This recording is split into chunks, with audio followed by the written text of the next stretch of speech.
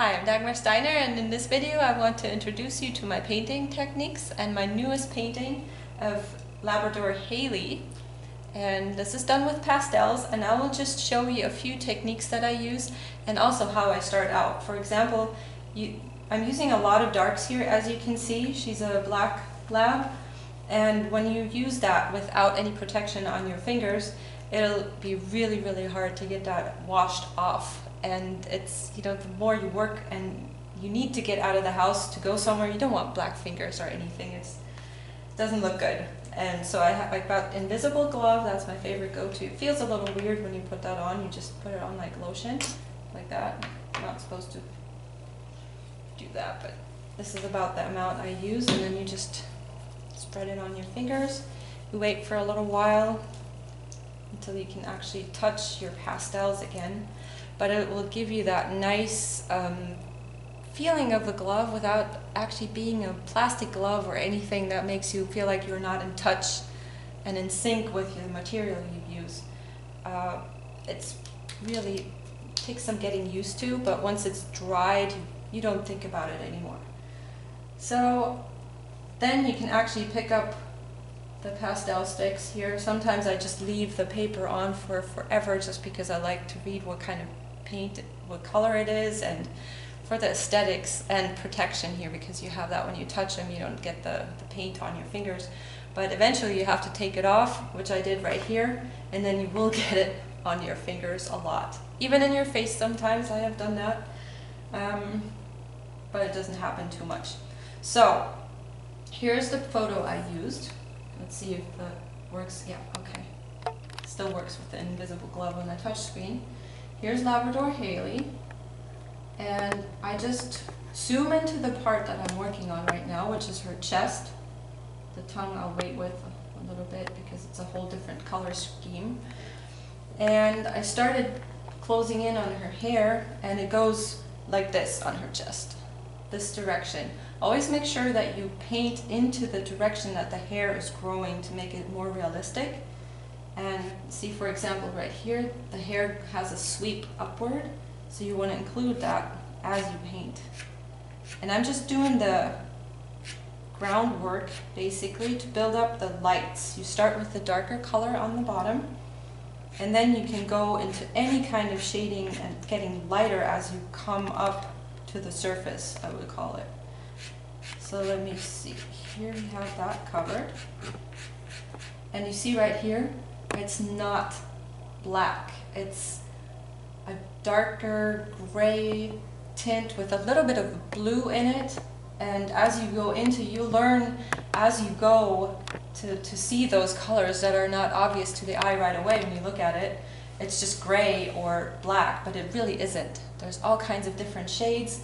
Of course, because the dog's outside, you got the leaf, all this foliage in the background reflecting. So this is not white. Her face right here is not just white. It's all of the colors of the leaves here coming into that part. So there's a little bit of really, really light yellow and maybe a little bit of a bluish tint, but only in certain parts. But let's get back to what I was talking about earlier. And just make sure you got the ground covered and all in that direction. And the reason I'm not using these pastel sticks with here is just because you can turn it around and get this really nice edge if you break them when you need it and especially around the tongue here you want that. So here again here you can see it gets darker here. You just and the hair grows in that direction. You just sweep it in that direction right here. So you cover all that and here you want to do more underpainting. So you have dark underpainting to build your light colors on.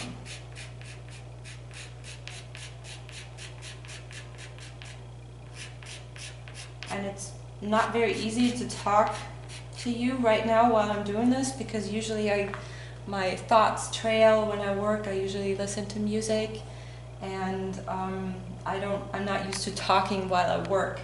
So forgive me if I just, that's in some parts don't say that much. But I'll get better as I do this. Okay, you want this covered. Hair grows this way on this side. Just very, very loose work right here. And also, since this is her body and not really the focus you need, you don't have to go into all that detail right here. You want this to stand back a little because this is the focus that you want. All the detail on the nose, on her eyes, and on the tongue. There's a lot of detail on the tongue. You don't want people to just sit here and go, wow, and count all the hairs. You want them to stay here within the painting. So here you go. Here you see the lighter hairs, just a tad. Not really. So this might actually be too light, this color that I had first. So you stay dark because you can always build into the lights. Once you're too light, it's hard to build the darks back up on this.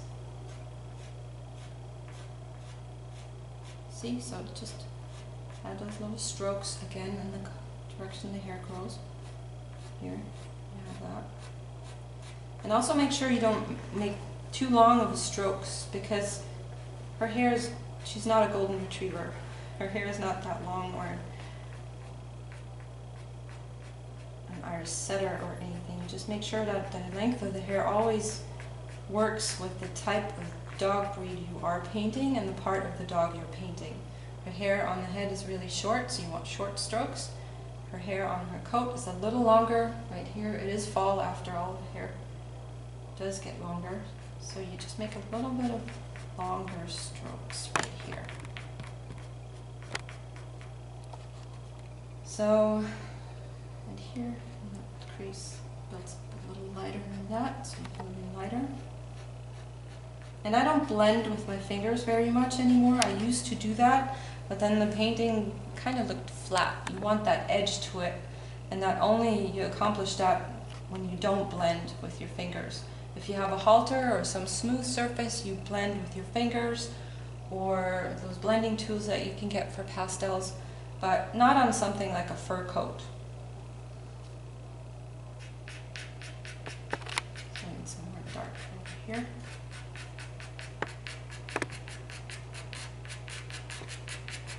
Okay. It's got a little bit too light, so you go back in with black right here. See, you don't need to blend. It does blending all by itself. That's the beauty of pastels. Okay.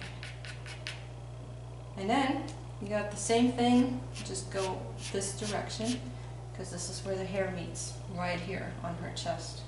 You go back in this way with her hair. And this is what I did throughout her entire body. I'm sorry that I already finished the head. I would have loved to show you the, how the head was done, but we'll have more of that in the future. I'll take you through the how you build up the the expression in the eyes and the nose. So just tune back in on more videos to come. Thank you very much.